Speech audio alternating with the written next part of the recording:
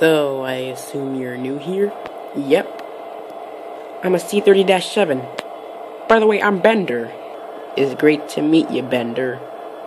Also, why are we shunting cars loaded with gunpowder? What can I. What do you expect? I think this kind of stuff is amazing. If you say so. You do know that gunpowder is extremely dangerous, right?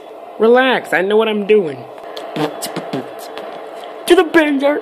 To the bender! No, thank you. Please, no. I said do it! Still no. Wait. Do I smell a lit fuse? Yes, it's coming from this hopper car that I have that has gunpowder in it. Oh, and not only that, a tanker car as well. Is the tanker car filled with gasoline? Of course. Uh, Bender, you know that stuff is extremely explosive, right? What, it is? Of course, how could you not know that? I don't know, what do I do? Oh, I don't know, put out the fuse. Oh, and how are we supposed to do that? You know, we don't have fingers and hands and shit like that. Well, I don't know, just, just get rid of the freight car or something. Uh, don't worry, I got an idea.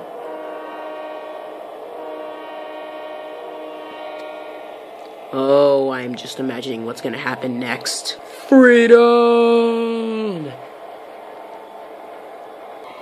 Wanna pull a prank on Nathan and the new engine? What, wait a minute, are those. Run! I don't need to run. What the. Oh, yeah, he's able to teleport. Crap. But hey, at least wait for me. Sorry, but my Amtrak gas can't die today. Bye! Hi, Roger. Bye, Roger. Where the heck is he going in such a hurry? Very far away!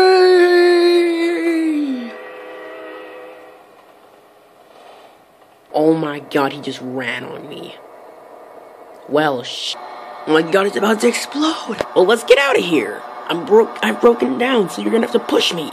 And I'm out of fuel. Sucks to be you.